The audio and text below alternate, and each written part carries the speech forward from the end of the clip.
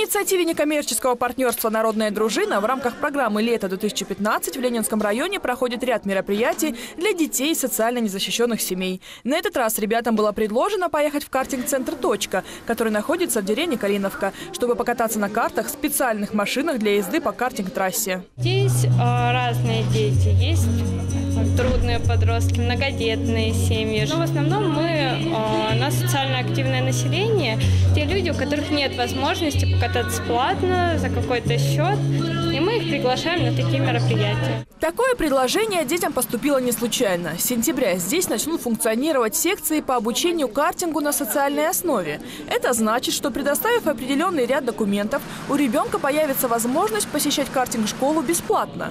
Групп будет несколько, младшая и взрослая.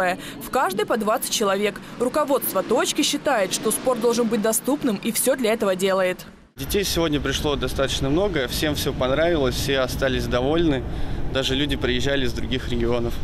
Для взрослого человека прокатиться на картинге – это без сомнения заряд положительными эмоциями. А уж для детей – это интересный опыт и отличное настроение.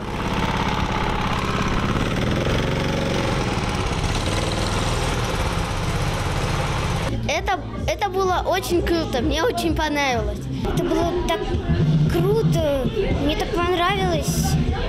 Я даже не знала, что со мной происходит. С трассы дети выходили под разными впечатлениями. Кто-то испуганный, кто-то с желанием продолжать заниматься этим спортом дальше. Лиза Сидорова уже год просила свою маму сводить ее на картинг. Девочка чувствовала, это именно то, что ей надо, и не ошиблась. Это интересно, и я всегда мечтала покататься на машине и на картинге. Благодаря социально активному бизнесу детям дается возможность попробовать себя в различных родах деятельности, что позволяет ребятам развивать скрытые таланты и находить свое предназначение в жизни.